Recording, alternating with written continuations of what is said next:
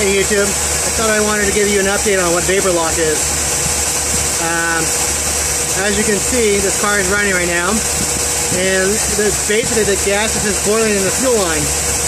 Uh, this is actually Chevron 87, and the problem is this is actually winter grade gas, and it's a really hot day. So winter grade gas, which is very volatile, doesn't work very well on a very hot day.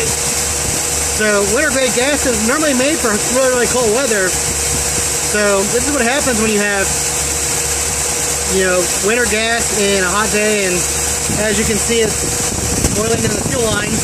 And by doing this, it's starving my uh, carb bowl. And so the car is kind of sputtering on and off, but I gotta give you an update. All right.